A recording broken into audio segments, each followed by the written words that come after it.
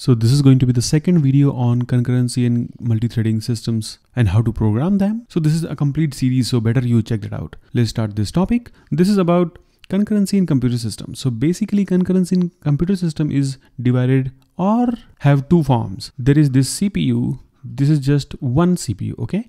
And we have bunch of applications like A and then B, C. And another one is we have multiple CPUs. So this is CPU number one, and then we have CPU number two. So four CPUs, and let's say we have A, B, C, and D. These applications. And there can be many applications here and here. So this is just for the illustration. So in first way, there is this single CPU switching between the applications. Okay.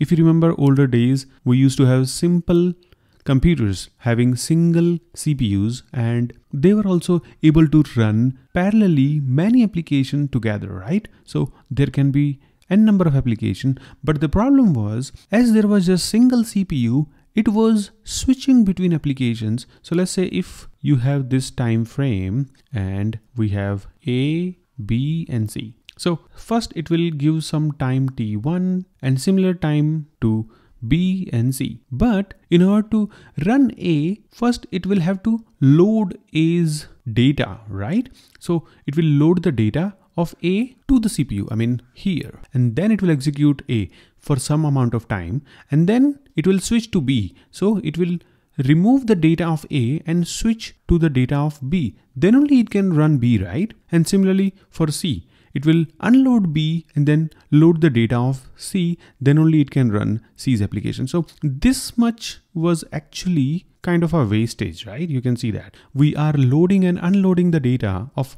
different processes and that takes time. But that time is not actually so much visible to you. Like you cannot see that okay if you're running a web browser here and playing some music then this two things can go parallelly without any issue. But the moment you start increasing the number of applications if you are from that era where you have used such applications in such computers you will remember that if you will play a game and simultaneously play some music or even open a web browser with many tabs then you will realize that your music is playing in chunks. I have seen that because it will give some cycles to web browser and then some cycles to music and then it will keep switching. But the number of web browsers tab was so much or there were so many applications and then there was this music application so it had to switch many applications and then there you will see the lag in the music. Because CPU is not just running the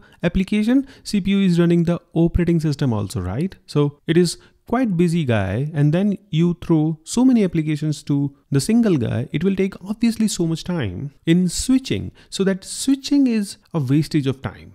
And we cannot get away with this because we have single CPU. Now let's talk about the multiple CPU. You would have already guessed that, that if we assign this A application to here and this here, this here and this goes here. So now you see this, there are four CPUs running four applications parallelly and they don't have to switch. I mean, A is using its own CPU, this guy will only one time load A's data, B's data, and C's data, and D's data. Every CPU will load its application's data and then it won't switch again. I mean, this is just hypothetically framed so that you can understand this. Otherwise, even if you have so many CPUs, they still have to switch the job because there are at least 50 to 100 applications running in the background, like single operating systems run on multiple background applications. So this is a hypothetical example, but you can understand this, right? Like we are saving so much in terms of switching the application.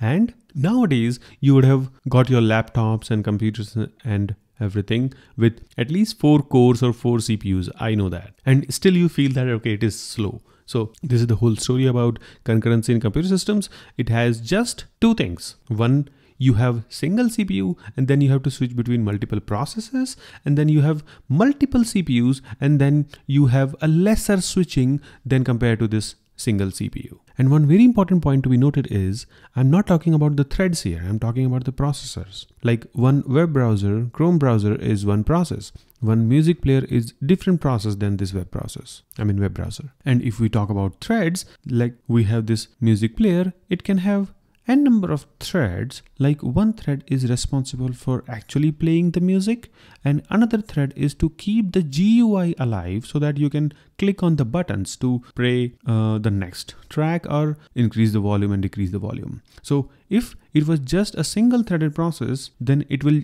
be able to just play the music. You won't be able to do anything with that. So there are multiple threads with this so that you can do things parallelly in this single process itself.